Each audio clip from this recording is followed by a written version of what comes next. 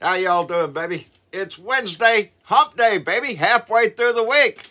Beautiful day down here in South Texas. I hope the sun is warming your heart no matter where you live. Anyway, what's going on in America today? Well, ain't it funny you should ask that shit? You know, being America, being united here as we, we so-called like to think of ourselves, Americans, ain't what we used to call ourselves, Americans. Yeah. Yeah, not so much anymore. Uh, some of them uh, over there on the other side, over there on the Republican Party, i.e., uh, Marjorie Taylor Greene. Yep, we spoke about her yesterday, her little comment about separating blue states and red states, you know. Well, she went on some right-wing nutjob station to clarify her remarks, you know, so you can fully understand her commitment to what? Are you shitting me? No, she doesn't believe in Americans. She believes in a blue America in a red America. And we should get a divorce. We should separate. We should separate. That way the red states could control the things they want there. Blue states could do whatever they want over there. But it's all about the control. Forget the Constitution, baby. That goes out the window along with a lot of other things because the states will decide what you can and cannot do. Well, like Marjorie Taylor Greene said, if a, a Democrat were to leave a blue state and move into a red state, where they can't vote for five years. Got to wait five years to get a vote, baby, because they don't trust your ass. Boy, howdy shit. Ain't that something? Yeah, she said things like they could do away with the Department of Education. Let the states decide how the children will be raised in that state. That way, and I quote, she says that, that, that red states could fire LGBTQ teachers. Yeah.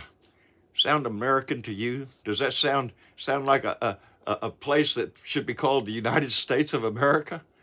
Not in her mind, baby. Not in her mind. But what can you say? It's Marjorie Taylor Greene, but she has an iron grip, baby, on Kevin McCarthy's balls. So, you know, everything's up for grab here. She's not promoting a civil war. So I don't know how that works. I don't know how they just decide that, oh, well, we're going to change everything just at the whim of her? Are you shitting me? What goes up in Georgia anyway? Didn't they just elect two Democratic senators? Didn't they elect Joe Biden as president? I think they did, Marjorie. Damn, you seem to be living in a blue state. Why don't you get your ass out of there? I don't think you're qualified to be there anyway. But that's my opinion. So what else is going on, John? Well, glad you asked that question. What's his name?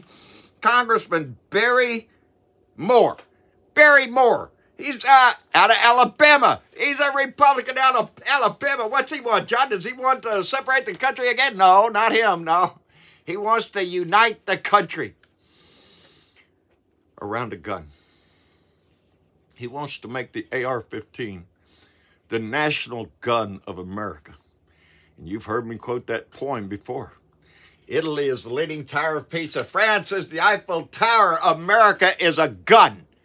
And old Barry here wants to make sure you know that. Not, not just a gun. Which gun? The AR-15. You know, the one that was used in Las Vegas when 58 people died. At Marjorie Taylor, at Marjory Stoneman Douglas High School, where 17 died.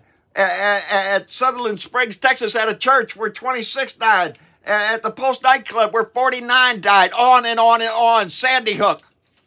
National gun.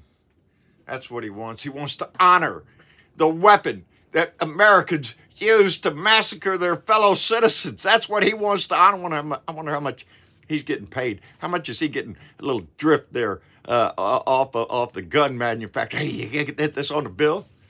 Yeah, it's bullshit. So we have to suffer through this crap that the Republicans are con are constantly just throwing out there, red meat and shit to stimulate their little masses out there. Marjorie Taylor over there talking about let's separate the country. Yeah. Meanwhile, Joe Biden's on his way back from that trip to Ukraine, you know, the one he had the courage to do, and then went to Warsaw, Poland to make a speech. Yeah, that guy, he's coming back, and thank goodness he is, and I'm proud of him. He's the one that's tried to unite this country. He is the one that united NATO.